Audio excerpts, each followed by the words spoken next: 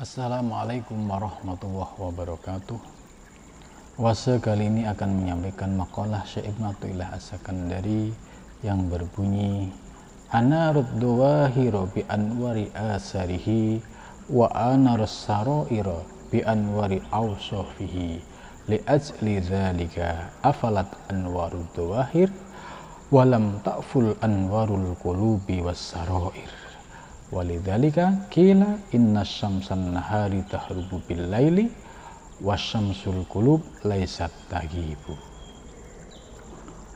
Allah memberikan cahaya terhadap wujud yang zahir yaitu alam semesta dengan cahaya ciptaannya berupa matahari atau bulan. Sedangkan Allah Subhanahu wa taala memberikan cahaya kepada hal-hal yang sifatnya rohaniah, sifatnya batiniah dengan limpahan cahaya-cahaya ilmu laduni dan ilmu kemakrifahan. Karena itu cahaya-cahaya yang sifatnya zahir seperti cahaya matahari dan bulan akan sirna. Akan tetapi cahaya hati tidak akan pernah sirna. Karena itu ada sebuah makalah yang berbunyi Inna samsan nahari tahrubu bil lail Sesungguhnya cahaya di siang hari akan sirna ketika matahari sedang tenggelam di ufuk barat. Sebaliknya, cahaya hati tidak akan pernah sirna.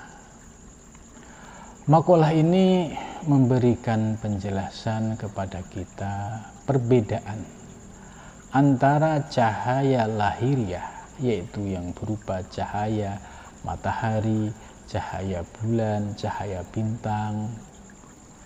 Cahaya-cahaya tersebut sifatnya kasat mata dan bisa memberikan cahaya di alam semesta ini. Cahaya matahari lebih terang dibandingkan cahaya bulan. Begitu juga cahaya bulan lebih tenang dibandingkan cahaya bintang. Cahaya-cahaya yang sifatnya lahiriah ada waktunya pasti akan tenggelam dan sirna.